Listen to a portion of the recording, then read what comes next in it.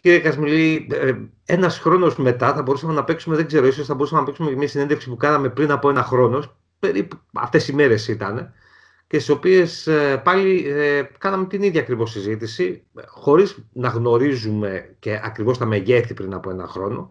Δηλαδή, ποια είναι η επόμενη μέρα μιας σκληρής καραντίνας από τον κορονοϊό, πανευρωπαϊκά, παγκόσμια και φυσικά εδώ στην χώρα μας. Ε, τώρα βεβαίως σε αυτή τη χρονιά προσθέτονται και οι προσδοκίες διόρθωσης μιας πολύ κακής περσινής χρονιάς. Σε τι σημείο βρισκόμαστε, Βρισκόμαστε δυστυχώς, όσο και αν ακούγεται λίγο αστείο, στο ίδιο σημείο που βρισκόμασταν πριν από ένα χρόνο. Ε, μπορώ να σου πω ότι βρισκόμαστε και σε χειρότερο σημείο. Ε, κατά βάση είναι η ίδια κατάσταση. Τουρισμό δεν, υπά, δεν έχουμε, ο ιός όπως βλέπεις καλπάζει ε, και φως στην άκρη του τούνελ ακόμα δεν έχουμε δει. Περιμένουμε σαν τουριστικό κύκλωμα τουλάχιστον που μπορώ να μιλάω, ε, από μέρα σε μέρα τι θα αποφασίσει η Α κυβέρνηση, θα αποφασίσει η Β κυβέρνηση, πότε θα σταματήσει το lockdown, πότε θα ανοίξει τα αεροδρόμια. Είναι ακριβώς η περσινή κατάσταση, αν θυμάσαι. Δεν πράγματα κάναμε και πέρσι. Πέρασε ένας χρόνος δηλαδή και τολμώ να πω ότι δεν μάθαμε τίποτα. Δηλαδή, ένα σχέδιο πιο οργανωμένο, πιο ωραίο στην Ευρωπαϊκή Ένωση τουλάχιστον σε αυτό το επίπεδο δεν υπάρχει. Άρα λοιπόν, ε, ουσιαστικά δεν έχουν προοδεύσει καθόλου. Μπορώ να σου πω ότι έχουν πάει και λίγο πίσω. Μπορώ να σου πω ότι δηλαδή, πέρυσι την εποχή είχαν πιο πολλές κρατήσεις από ό,τι έχουμε φέτος. Ναι. Ε, μα ακούμε ότι για υγειονομικά διαβατήρια, ότι προχωράνε με εμβολιασμοί, ότι αυτό θα δώσει τη δυνατότητα να ανοίξει η τουριστική σεζόν. Ο κ. Στοχάρης, ο Υπουργό, προανήγγειλε άνοιγμα της σεζόν 14 Μαΐου. Ε, όλα αυτά ε, δεν είναι αισιόδοξα; Όχι, δεν είναι αισιόδοξα γιατί είναι όλο στο πόδι. Ε, δεν υπάρχει ένα οργανωμένο σχέδιο πανευρωπαϊκά. Ε, το πρόβλημα το, δεν είναι ελληνικό, είναι πανευρωπαϊκό αυτή τη στιγμή. Πανευρωπαϊκά δεν υπάρχει ένα σχέδιο οργανωμένο που να λέει σε, με, κάποιο, έτσι, ε, με κάποιο σχεδιασμό τέλος πάντων τι θα γίνει από εδώ και πέρα. Να σου πω ένα παράδειγμα. Πώς βγήκαν οι Εγγλέζοι πριν από κάποιο διάστημα και ανακοινώσαν ένα πολύ συγκεκριμένο σχέδιο ότι εμείς θα έχουμε στάδιο 1, στάδιο 2, στάδιο 3 και τέλος πάντων στο στάδιο 4, νομίζω η 5, 21 Ιουνίου ανοίγουμε τα πάντα. Αυτό λοιπόν σε πανευρωπαϊκό επίπεδο δεν υπάρχει. Συζητάμε, λέμε θεωρίες, λέει ο Μητσοτάκης, λέει η Μέρκελ, λέει ο καθένας, ο καθένας το μακριά του και το κοντό του, αλλά αποτέλεσμα δεν υπάρχει. Πώς λοιπόν περιμένεις τώρα να ξεκινήσει η οικονομία και δύο τουρισμός χωρίς να υπάρχει σχέδιο; Ποιος άνθρωπος πάει να κλείσει διακοπές, Ποιος άνθρωπος πάει να δώσει τα λεφτάκια του ή έστω τέλος πάντων να κάνει ένα σχεδιασμό χωρίς να ξέρει τι θα γίνει. Ξέρει κανένας πώς θα είναι η κατάσταση στην Ελλάδα, στη Σάμο, στη Μαγιόρκα, πάμε αλλού, τον Ιούνιο; Θα είναι ανοιχτά, θα είναι κλειστά, θα είναι με μάσκες, θα είναι χωρίς μάσκες. Τι θα είναι, κανένας δεν ξέρει. Αυτό λοιπόν σκουπτώνει όλη την οικονομία στον τουρισμό. Δυστυχώς η Ευρωπαϊκή Ένωση έχει αποτύχει στο κομμάτι αυτό. Ε, από εκεί πέρα τώρα κάνουμε διάφορες σκέψεις. Να κάνουμε διαβατήρια, να μην κάνουμε διαβατήρια. Αυτά είναι όλα, όπως ξέρεις όμως, σε θέματα υποσυζήτηση. Έχουμε πάει δηλαδή μέσα Μαρτίου, κανονικά ε, σε ένα μήνα θα ξεκινήσει η σεζόν και ακόμα συζητάμε τι θα κάνουμε και τι θα οργανώσουμε. Μα δεν γίνεται, Σκύλια. Έχει αποτύχει το σύστημα δηλαδή, όπως και να το δεις. Με τα στοιχεία που έχουμε σήμερα, ε, πότε μπορούμε να περιμένουμε ε, αφήξεις ε, στη ΣΑΜΟ. Στη ΣΑΜΟ. Στη ΣΑΜΟ. Ε, οργανωμένες αφήξεις, να ξεκινήσει δηλαδή κανονικά η κίνηση, εγώ θα έλεγα προσωπική μου εκτίμηση, κατά το τέλος Μαΐου, αρχές Ιουνίου στην καλύτερη. Ε, μπορεί φυσικά, δεν το αποκλείω, κάποιος ε, τρελός να βάλει μια πτήση νωρίτερα κτλ. Αλλά θα είναι πιο πολύ ζημιά παρά κέρδος. Mm-hmm. Οργανωμένα να ξεκινήσουν όλες οι πτήσεις μαζί, όπως το. μια σεζόν δηλαδή κανονικά. Εγώ δεν νομίζω ότι πριν το τέλος Μαΐου, αρχές Ιουνίου θα ξεκινήσει. Δεν υπάρχουν οι προποθέσει άλλωστε για να γίνει αυτό. Ε, πτήσεις θα υπάρχουν. Γιατί νομίζω είναι το μεγάλο ζητούμενο. Θα έχουμε αεροπλάνα. Εντάξει, η θέληση μπορεί να υπάρχει, μπορεί να υπάρξει και ένα ενδιαφέρον έστω της τελευταίας στιγμής, αλλά αεροπλάνα για να έρθουν αυτοί οι άνθρωποι θα υπάρχουν. Αεροπλάνα θα είναι σίγουρα περιορισμένα. Δηλαδή, τη στιγμή που μιλάμε σήμερα, ε, μπορώ να πω τα αεροπλάνα που είναι προγραμματισμένα είναι περίπου στο 50% να πω, από 60, κάπου εκεί πάντων, πάντων, της κανονικής κίνησης του 19.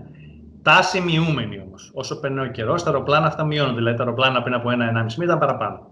Όσο περνάει ο καιρός και βλέπει ο κόσμος, ο tour operator, πάντων, δεν τζουλάει το σύστημα, ε, κόβονται. Άρα μιλάμε τέλος πάντων ότι εκεί περίπου τις μισές πτήσεις έχουμε το κανονικό. Αλλά αυτό δεν λέει τίποτα. Μπορεί να είναι πιο λίγες αύριο μεθαύριο. Μπορούμε να διακινδυνεύσουμε να κάνουμε μια ε, εκτίμηση ε, σε νούμερα το πώς θα κινηθεί η χρονιά αυτή που έχουμε μπροστά μας. για τον τουρισμό charter που είναι και πιο εύκολα μετρήσιμος, δηλαδή τις, τι το εξωτερικό, τους τουρίστες της Δυτικής Ευρώπης και όλα αυτά. Εγώ πιστεύω ότι αν πιάσουμε τα μισά του 19 θα είναι με τα δεδομένα τα σημερινά μεγάλη επιτυχία. Τώρα μπορεί να αλλάξει κάτι αύριο μεθαύριο, προς το καλύτερο, προς το χειρότερο. Αλλά αυτή τη στιγμή με τα σημερινά δεδομένα νομίζω ότι το μισό θα ήταν ένας πολύ καλός στόχος και με μεγάλη επιτυχία. Δηλαδή μιλάμε για ένα 40% πληρότητα, δηλαδή για πόσο, 45%? Μιλάμε τα μισά του 19. Τώρα αυτό σημαίνει πολλά. Εξαρτάται το ξενοδοχείο, εξαρτάται τον προμηθευτή. Δεν μπορεί να το πεις αυτό έτσι ακριβώς. Ναι. Αλλά αν την κίνηση που θυμάσαι το 19, φαντάσου τη μισή. Κάπως έτσι και να ξεκινάει τον Ιούνιο. Δηλαδή αυτή είναι λίγο πολύ εικόνα αυτή τη στιγμή που βλέπω. Ναι. Στο... Και αυτό είναι το καλό σενάριο. Αυτό είναι μάλλον το καλό σενάριο. Ναι. Εκτός κι αν ξαφνικά γίνει ένα μπαμ σε εμβολιασμούς αύριο το πρωί και εμβολιαστεί όλος ο κόσμος απότομα. Γιατί μην κρυβόμαστε, όλο το κόλπο αυτή τη στιγμή είναι εμβολιασμοί. Όπως το κάναμε αυτή τη στιγμή, ε, για να γίνει επανεκκίνηση και για να ανέβουν τα νούμερα και για να κλείσει ο κόσμος, πρέπει να υπάρχει μεγάλο ποσοστό εμβολιασμού, εφόσον δεν υπάρχει άλλο φάρμακο. Ε, άρα λοιπόν με τα σημερινά δεδομένα και με τα πλάνα που βλέπω εγώ να δημοσιεύονται από εδώ και από εκεί, νομίζω ναι ότι αυτό είναι το, το καλό σενάριο. Δηλαδή να ξεκινήσουμε εκεί αρχές Ιουνίου, πες, τέλη Μαΐου, και να φτάσουμε στο διάστημα εκείνο που θα απομείνει περίπου τα μισά που θα είχαμε σε μια κανονική σεζόν. Άλλωστε υπάρχουν κάποιες εθνικότητες που έχουν ήδη πούμε, σταματήσει το πρόγραμμα, ήδη το έχουν ξεγράψει. Παράδειγμα, οι Ιταλοί. Ιταλοί. Που οι Ιταλοί φέραν κάποια αεροπλάνα, ήταν αρκετός κόσμος. Αυτοί ήδη εδώ και αρκετό καιρό έχουν πει ότι εμείς δεν πετάμε σαν τέλος. Και θα ακολουθήσουν πιθανόν κι άλλοι. Οι Σκανδιναβοί, ξέρω και εγώ, ήδη έχουν κόψει πολλές πτήσεις και κόβουν. Οι άλλοι πετάνε με μισές πτήσεις. Η, η κατάσταση πάντως δεν έχει καμία σχέση με αυτό που αναμέναμε. Γιατί για να πω την αλήθεια, αν με ρωτούσες Νοέμβρη ή πριν τα Χριστούγεννα, η κατάσταση ήταν, το σχεδιασμό ήταν πολύ καλύτερος. Σχεδιάζαμε άλλα πράγματα, στηριζόμενοι φυσικά στις πληροφορίες που είχαμε πάρει και εμείς και οι συνεργάτες μας από τις κυβερνήσεις. Που όπως θυμάσαι ήταν λάθος. Αν θυμάσαι καλά, τότε λέγαμε ότι νομίζω ότι τέλος Μαΐου, αρχές Ιουνίου θα έχει εμβολιαστεί το 70% του πληθυσμού. Αυτό ήταν ο σχεδιασμός. Και με βάση αυτά, εμείς προγραμματίζαμε ότι κάποια στιγμή Ιούνιο πιο μετά θα ξεκινήσει, θα κάνει όντως ένα μπαμ. Πείτε μου, γιατί μιας και, μιας και είμαστε στον εμβολιασμό, ε, θα παίξει ρόλο το ότι οι, οι άνθρωποι μας που είναι στην πρώτη γραμμή του τουρισμού, αυτοί που έρχονται καθημερινά σε επαφή με, με, πελάτες, είτε είναι σε εστιατόρια, είτε είναι σε ξενοδοχειακές μονάδες, ε, όπως του δείχνουν τα πράγματα, δεν θα έχουν εμβολιαστεί. Θα παίξει ρόλο αυτό. Θα παίξει κάποιο ρόλο, ναι. Σίγουρα, δεν το πω διαφορετικά. Σίγουρα είναι ένα μεγάλο πλεονέκτημα και μπορεί να διαφημιστεί πολύ θετικά το ότι εγώ το προσωπικό μου, ε, όλος ο τουρισμός, δεν ξέρω πώς θα το δεις, έχει εμβολιαστεί. Άρα είναι ασφαλές. Άρα κοιμάσαι καλύτερα, τέλος πάντων, πώς θα το πούμε. Εγώ, σαν τουρίστας, λοιπόν, ξέρω ότι θα πάω στην ε, Σάμο και είναι όλοι εμβολιασμένοι. Αυτό σίγουρα είναι θετικό. Και αντίστροφα, φυσικά, δεν είναι θετικό το ότι δεν είναι εμβολιασμένοι κάποιοι. Ναι. Το θεωρώ λέει, πολύ θετικό. Αν, αν μια επιχείρηση, αν ένας προορισμός, αν ένα νησί μπορεί να βγει και να πει ότι εμείς σε επίπεδο τουρισμού έχουμε εμβολιαστεί, αυτό είναι σίγουρα θετικό. Δημιουργεί μια ασφάλεια. Είναι... Ε, δεν ξέρω αν, αν, να το πω έτσι πολύ απλά, αν δουλεύετε με τους φούρνους. Το νησί των φούρνων είναι ένα νησί το οποίο έχει εμβολιαστεί μεγάλο ποσοστό πληθυσμού. Δείχνει να υπάρχει κάποιο ενδιαφέρον ε, για αυτό. Τουριστικό ενδιαφέρον Δεν μπορώ να το πω αυτό γιατί τα νησί των Φούρνων ή το Καστελόριζο που διάβαζα αυτά τα νησιά είναι νησιά τα οποία δεν έχουν να κάνουν με μαζικό τουρισμό. Άρα δεν μπορώ εγώ αυτή τη στιγμή. Εμείς ασχολούμαστε καλώς ή κακό με τουρισμό μαζικό, οργανωμένο και ελεγχόμενο. Ε, δεν έχει τέτοιο τουρισμό εκεί πέρα, αλλά δεν μπορώ να κρίνω να δω δυστυχώς τι κίνηση υπάρχει. Εγώ όμως θέλω, θέλω να πιστεύω ότι ναι, ε, ότι κάποιος άνθρωπος θα το υπολογίσει αυτό. Ότι ναι, πιο καλά να πάω στους φούρνους που λέω λόγω τρόπο και να νιώσω ήσυχος ότι εκεί είναι όλοι εμβολιασμένοι και δεν μπορεί να γίνει τίποτα, παρά να πάω κάπου αλλού δίπλα που υπάρχει. Εγώ θεωρώ ότι είναι θετικό. Μάλιστα. Ε, υπάρχει περίπτωση, βεβαίως και αυτό τώρα κανείς δεν μπορεί να το γνωρίζει, αλλά ε, υπάρχει, μάλλον να το πω αλλιώς, υπάρχει ο φόβος να χαθεί μια σεζόν στη μέση. Δηλαδή, τι θέλω να πω, πέρσι ε, ξεκίνησε αυτό όπως ξεκίνησε, κυλούσε όπως κυλούσε και ξαφνικά εκεί που όλα έδειχναν ότι ένας Σεπτέμβριος και Οκτώβριος θα ήταν ε, ε, σχετικά καλή, να το, να το πω έτσι, ήρθε η οδηγία από την Ολλανδική αγορά, η οποία πάγωσε, μάζεψε τα πράγματα και έχω την εντύπωση ότι τράβηξε και λίγο την σεζόν, έτσι, την έξι λίγο βιαστικά. Οι φυσιολογικές συνθήκες, και αυτό ίσως είναι και το πιο θετικό φέτος συγκριτικά με πέρυσι, Αυτό το σενάριο δεν υπάρχει. Εννοείται ότι ο κόσμος εμβολιάζεται και όσο μεγαλώνει το ποσοστό του εμβολιασμού, η κατάσταση βελτιώνεται. Δεν υπάρχει, δεν υπάρχει πρόβλεψη για, για επιστροφή.